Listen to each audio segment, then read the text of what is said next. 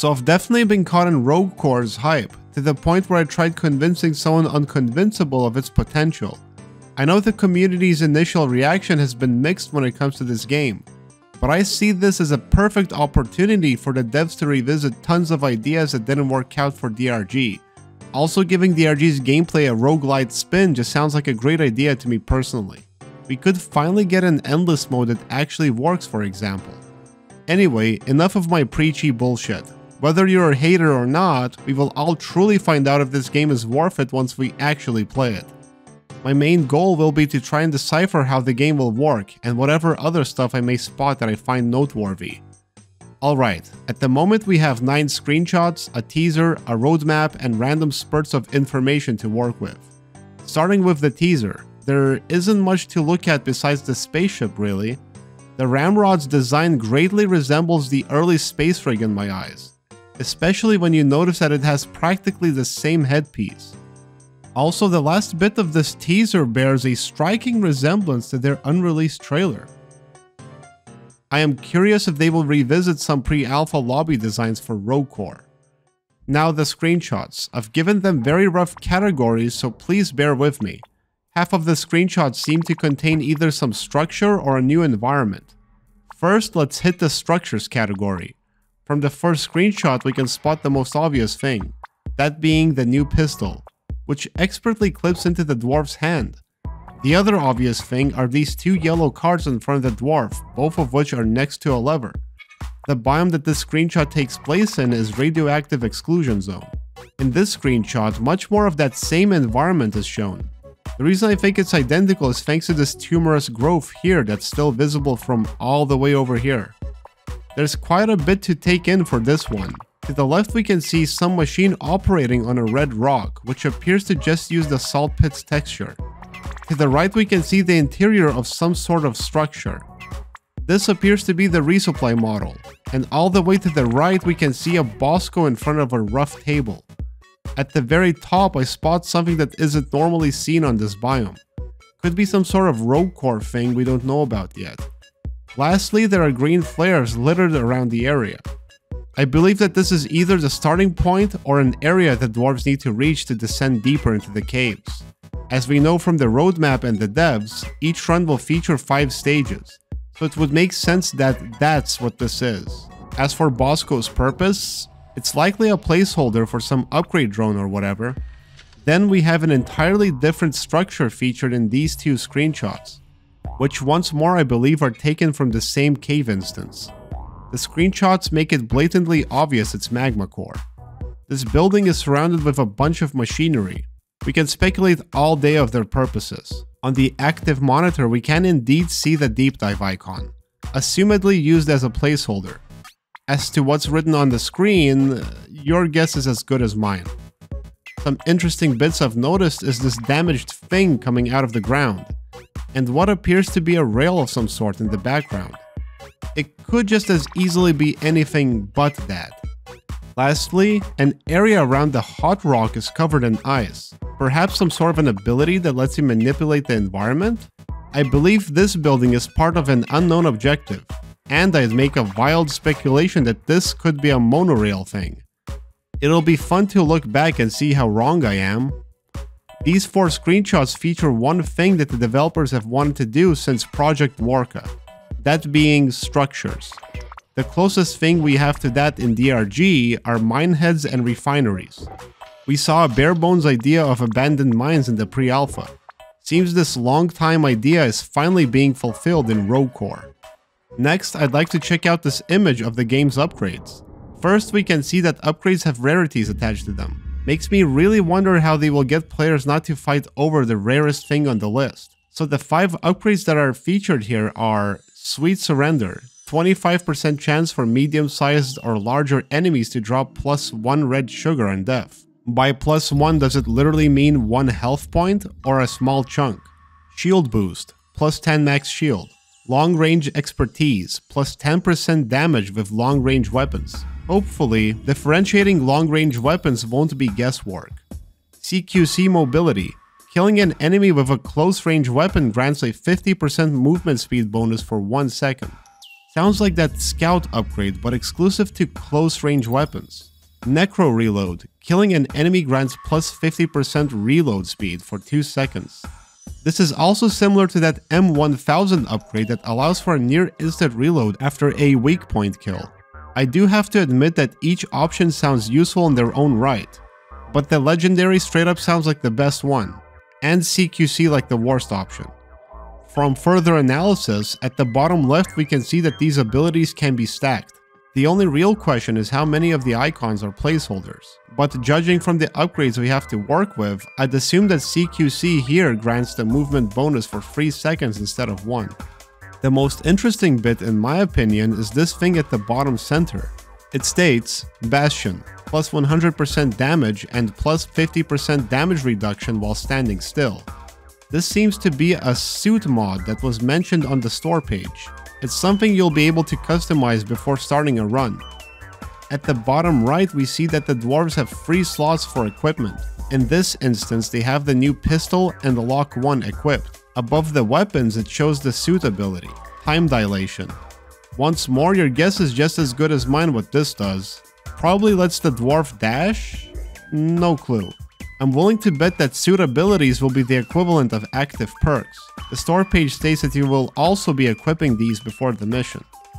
With that, I'd like to move on to a different set of screenshots, one that seems to showcase a brand new biome. From this one, we can see a screen popping out of the dwarf's arm, which really just seems like an in-world visualization of when dwarves acquire a new upgrade. Now for the backdrop. There's an entirely new texture utilized for the cave surfaces of this area. There are tons of elongated strips of rocks forming around the area, as well as giant green protrusions, either emerging from the ground or falling down from the ceiling. In the very back, there's a yellow light shined at an entryway, unsure if it's part of the biome or yet another structure. Could speculate that it leads to the next stage or the finale.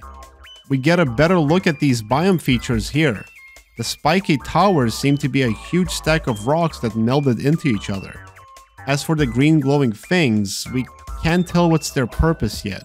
Could simply act as set dressing really. One thought I had is that this could be the new Expanite material. But I don't think that it is. I think Expanite will come in a much more traditional form. Yet another missed opportunity to bring back Quantrite. This screenshot here lets us get another look at the region. Here we get to see the textures more prominently, and more of those rock tower formations. Here we can spot that red sugar does indeed still spawn in Rogue Core. In the back here I believe we see another entryway, and right in front of the dwarf is a yellow flare, as well as their upgrade screen, which inexplicably turned blue. With the green and yellow flares as well as the screen colors changing, I believe the dwarves may still be color coded in this build of the game it would make the players quick to differentiate when playing with randoms. And lastly, I saved the most intriguing screenshot for last. Once more we can speculate till the cows come home, but this seems to be related to the core in one way or the other. Likely a boss fight. Oh and hey, there's some red sugar there too. I believe that whatever this new biome is will be exclusive to the game's final stages. I may have also already ran into this biome in DRG's files. If I'm correct with my assumption, the biome's internal name is Deep Core, which would further support my speculation. The timeline also syncs up, since it appeared in the game files sometime after Season 3 was released. If you have some doubts about this being a new biome, then lo and behold the store name for these two images. RC underscore biome underscore A. Moving on to the roadmap, there's a ton of information presented here, I assume this was made in an attempt to emphasize their open development. Apparently Rogue Core has already went through three updates. Within the first update, the basic mechanics are mentioned, which I'm sure the devs have elaborated a thousand times by now. The 5-stage dives with a boss fight, then using Expanite to upgrade, player loadout unlocks, and damage numbers. Wait, we are finally getting official damage numbers? It does make too much sense for a roguelite game, Update 2 claims to have a focus on the co-op mechanics. This is where the no class thing is mentioned. Everyone starting with the bare minimum, a pickaxe and a gun. This one mentions a mid-mission resupply safe house, which could also be what this card thing is from earlier, Next one claims that all objectives will be optional for bonus XP. Does this include the final stage's boss fight? Can that be skipped for the sake of survival? Exercising their open development stance, I did ask a developer a bunch of questions, one of which was about the objectives themselves, and how many are reused from DRG. They basically told me that currently it's a mishmash of new prototypes and some old stuff. But they also made a point to say that one of Update 4's purposes is to make all the objectives new, with some carrying similarities to DRG. Next is a cooperative selection of upgrades, weapons, and so on. I think we saw an example of this in one of the screenshots. This implies that you'll be gaining new weapons via this screen. Creating small personal buffs. Fairly self-explanatory. This sounds like a re-implementation of the original Gold Frenzy system to me personally. And then comes Update 3. This is where they created new starter weapons and phase suits. Phase suit either refers to that Bastion thing or the suit ability we saw here. Maybe both. A dev has said that in terms of weapons, currently all DRG weapons are ported over to the game with a small chunk of new Reclaimer weapons. The dev also noted that likely not all DRG weapons will survive testing. This includes some Reclaimer weapons that are already nearing the cutting room floor. Perhaps one day we will see what these were. Was also told that adding new weapons to Rogue Core is going to be a lot easier as they won't have to worry about intricate modification systems and overclocks. Players unlock new Reclaimer gear between runs, basic roguelite stuff, Constructor drone for crafting upgrades out of Expanite. I do have to wonder if the crafting occurs through that Bosco we saw earlier. And after that, they finished up UI and HUD stuff. Now down to Update 4. For this they'll focus on establishing the characters properly. I'm left to wonder if they will all be clones of each other once more or possess different lines. Gameplay experimentation for the final stage, Mission objectives updated to match the game better, as mentioned a bit earlier. Full implementation of the Expanite upgrade stuff, more UI polishes, and designs of brand new enemies will begin. Lastly, just random tidbits of information mixed in with speculation. I believe Rogue Core was originally going to be Season 4. The developers didn't want to extend the same theme for a second season again, but yet, here we are whatever the original idea was, clearly evolved beyond its update and was developed into a standalone game to break it free from any limitations that DRG would impose onto it. I wasn't able to get any alternative answers as to why the split was necessary, but I have two additional guesses. 1. It would have left some players confused who'd run into this new game mode without prior knowledge of it.